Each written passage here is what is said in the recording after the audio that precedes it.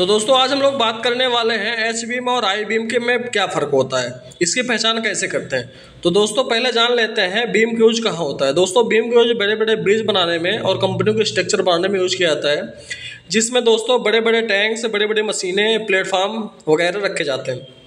H beam का use दोस्तों heavy structure में किया जाता है, जबकि आई बीम का यूज़ दोस्तों लाइट स्ट्रक्चर में किया जाता है। दोस्तों, इसे बीम का फ्लंज कहते हैं और इसे बीम का वेब कहते हैं। दोस्तों बीम के वेब के थिकनेस को वेब की मोटाई कहते हैं। ठीक है दोस्तों? दोस्तों, इसकी पहचान की बात करें तो इसको तीन तरीके से पहचाना जा सकता है। पहले दोस्तों, इसके सेक्शन व्यू से। जैसे कि दोस्तों एच बीम का जो सेक्शन व्यू है, वो अल्फ़ाबेट एच की तरह दिखता है, जबकि आई बीम का सेक्शन व्यू है जो दोस्तों, वो अल्फ़ाबेट आई की तरह दिखता है, जैसे कि आप देख पा रहे हैं। दूसरा दोस्तों, इसका एज एज की पहचान से हम समझ सकते हैं, जैसे कि दोस्तों एच बीम का एज जो होता है, दोस्तों, ये स्ट्रेट होता है, और आई बीम का एज जो होता है, दोस्तों, ये टेपर होता है। ठीक दोस्तों?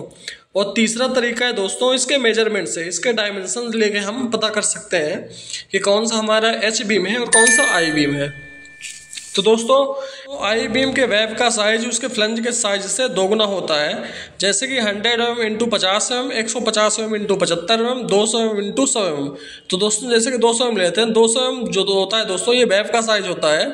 और हंड्रेड जो होता है, दोस्तों, ये फ्लंज का साइज़ होता है। फ्लंज का साइज़ उसके वेब के साइज़ से हाफ़ होता है। वेब का साइज़ हमेशा फ्लंज से दोगुना होता है। ठीक है दोस्तों?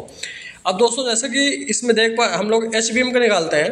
तो एच बी एम का क्या होता है दोस्तों? एच बी एम का फ्लंज और वेब सेम साइज़ होता है। फ्लंज का भी और वेब का भी साइज़ सेम होता है। जैसे कि हंड्रेड इंटू हंड्रेड दो सौ एम इंटू दो सौ। एम दो सौ फ्लंज का भी होगा और आपका वेब का भी दो सौ ही होगा इसका साइज़ ठीक है दोस्तों? दो सौ। एम दोस्तों, अगर वीडियो अच्छी लगी हो तो वीडियो को लाइक करें शेयर करें और चैनल को सब्सक्राइब करें। Thanks for watching